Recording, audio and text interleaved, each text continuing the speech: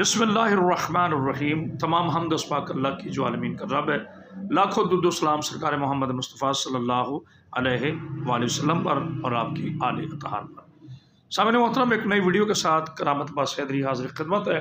आज की वीडियो मौलाना मक्की जो अलहिजाजी के नाम से मशहूर हैं अक्सर सवालों के जवाब देते हैं। इनसे सवाल किया गया कि मौला अलीम को मौला कहना जायज़ है या नहीं।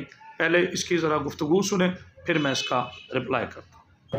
कहते जी कि हज़रत मौलाना तारिक जमील साहब ने फरमाया है कि हज़रत अली को मौला अली कहना चाहिए ये उनका हक़ है। उनकी किसी बात का मैं तब्दील तो नहीं कर सकता। लेकिन कभी अगर उनसे वैसे मौला कहना जो है, कोई फ़र्क नहीं पड़ता है कि मौला के कई माने मौला का माना रब भी है, नासिर भी है, मुआवन भी है, दोस्त भी है। मौला का माना गुलाम भी है। मौला का माना गुलाम भी है। मौल कौम मिनो यानी कौन का गुलाम और खादिम जो वो भी मौला होता है। लेकिन आम तो शिया वाला मौला अली बना देंगे ना, मुश्किल कुशा हाजत लवा वो तो मौला का माना यही करते हैं ना कि अली मौला है, मुश्किल कुशा है यानी। नवजुबिल्ला खुदा है, और खुदा हल्ला भी अली, हज़रत अली में हलूल कर गया है। इसलिए ऐसे लफ्ज़ों से एहतियात में जी सामिन मोहतरम तो आपने इस शख्स की गुफ्तु को सुना। इसे कहते हैं कि हसद अली का रग रग से बोलना। यानी मौला अली इस्लाम से इतना हसद था कि इस साहब ने लफ्ज़ मौला की मानवीयत का मुकम्मल ढांचा ही तब्दील कर दिया। और आखिर में जैसे कि आपने सुना इसने ये कहा कि मौला के माने ग़ुलाम भी हैं।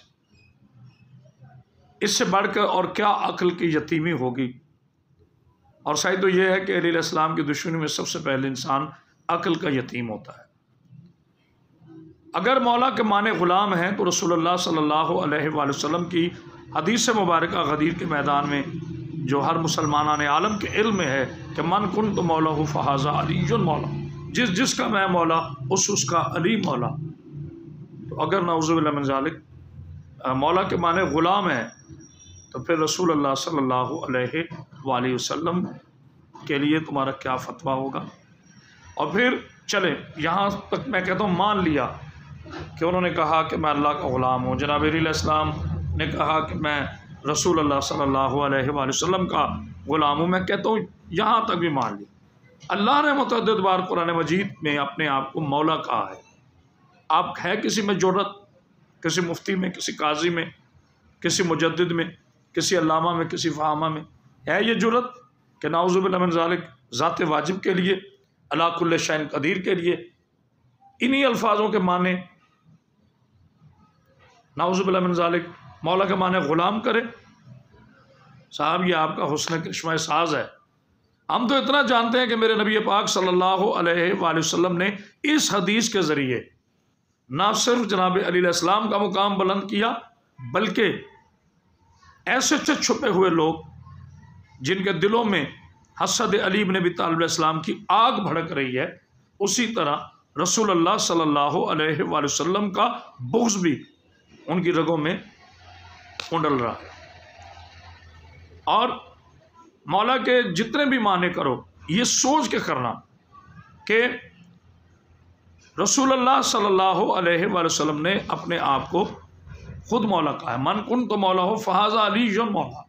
जिस जिसका मैं मौला, उस, उसका अली मौला। और यह हदीस इतनी हवालों से साबित है, बल्कि ये चंद हवाले जाम तरमज़ी की हदीस नंबर तीन हज़ार सात सौ तेरह में सनन नसाई के अंदर यह हदीस मौजूद है, जैद बिन अरकम रज़ी अल्लाह तु से। और फिर मुस्तक हाकम में, जिसकी जिल्द नंबर चार में यह हदीस नंबर उन्नीस हज़ार तीन सौ इक्कीस है, सही मुस्लिम में, और दीगर बहुत सी कुतबा जिनमें यह हदीस नबवी सल्लल्लाहु मौजूद है। और अगर देखा जाए तो कुरान ने जनाब रसूल खुदा सल्लल्लाहु अलैहि वसल्लम को मौला करार दिया। सूर्य नसा में अल्लाह ने शर्फ फरमाया कि क्या मेरा नबी तुम्हारी जानों से ज़्यादा तुम पर तुम्हारे नफूस से औला नहीं है? औला बमाने मौला। क्या मेरा नबी इन मोमिनों के नफूस पे औला नहीं है? और फिर एक आयत के आप जो माने लेते हैं, उसमें ये लफ्ज़ों से खेलते हैं नौजवान नस्ल के लिए। ये कह कर के सूरह तहरीम में अल्लाह ने शाफा इन मौला जबरील व साहलमोमिन के ताकीक अल्लाह का मौला कौन है? जबरील है साहलुलमोमिन है, और यहाँ मौला से मुराद जो है वो मोहब्बत करने वाला। चले, अगर आप ये लेते हैं माने तो फिर इस तरफ़ आ जाए। फिर नबी पाक सल्लल्लाहु अलैहि वसल्लम यूँ फरमा रहे हैं कि, मन कुन तो मौला हो फहाजा अली जो मौला, जिसका मैं मौला, उसका अली मौला, यानी जिससे जो मुझसे मोहब्बत करता है, वही अली से करता है। या जो अली से करता है, वो मुझसे मोहब्बत करता है।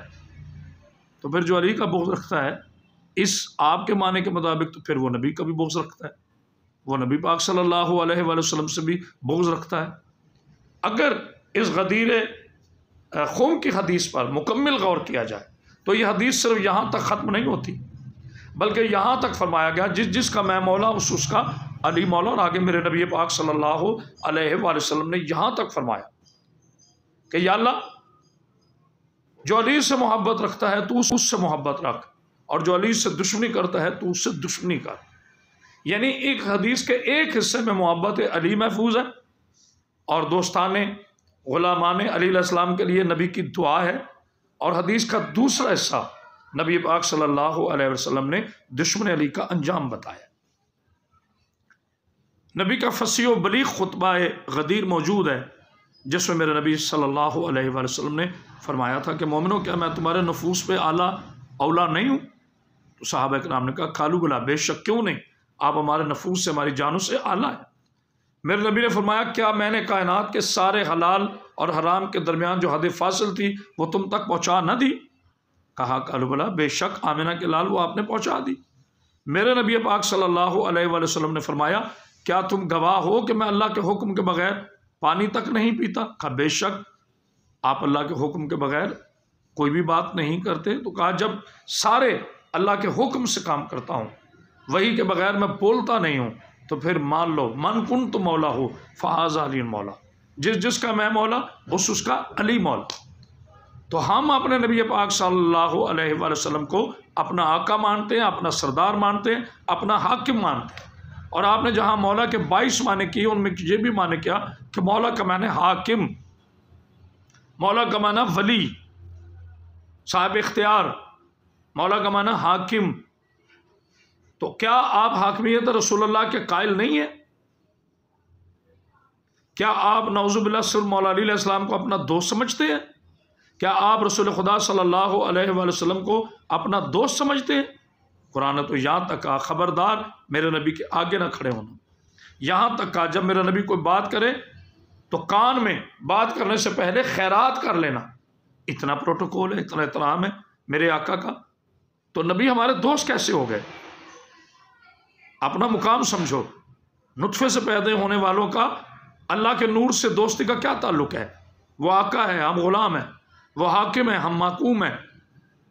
वो हादी है, हम हिदायत लेने वाले हैं। वो मुश्किल कुशा है, हम, हमारी मुश्किल हल करने वाला है। हम साहिब कुरान नहीं हैं, हम अहल कुरान है। मेरा नबी पाक सल्लल्लाहु अलैहि वसल्लम साहिब कलाम है। तो हम अपने नबी जैसे कैसे हो गए? कोई उम्मत अपने नबी जैसी नहीं हो सकती। तो जब कोई उम्मत अपने नबी जैसी नहीं हो सकती तो हम सैदुलम्बिया जैसे कैसे हो गए? तो जब हम सैदुलम्बिया जैसे नहीं हैं तो नबी हमारे दोस्त कैसे हो गए? नबी हमारा हाकिम है।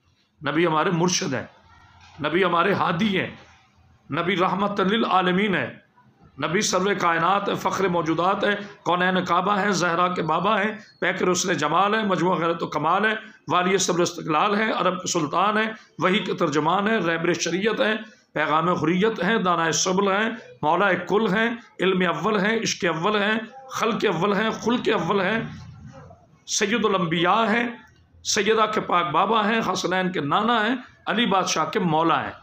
औलिया, औसिया साहब कराम के आका हैं। दोस्त कैसे हो गए हमारे? एक अली के हसद में आपने एक हदीस को इस अंदाज से तोड़ मरोड़ कर पेश किया कि आपने यही ना सोचा कि आप मोहब्बत रसूल से दूर होते जा रहे हैं। लिहाजा आप जिन मानों में रसूल को मानते हैं, उन्हीं मानों में आपको अलीसलाम की अजमत को हरमत को मानना पड़ेगा क्योंकि नबी ने खुद फरमाया जिस जिसका मैं मौला उस उसका अली मौला तो फिर आपको क्या हसद है जिसे नबी ने मौला कह दिया उसे अगर तुम जैसे मौला ना भी माने तो उसकी मौलाइत में कोई फ़र्क नहीं आता अलबत् तुम्हारे अंदर का बॉक्स खोल के ज़रूर बाहर आता वसलाम तो फ़ैयाल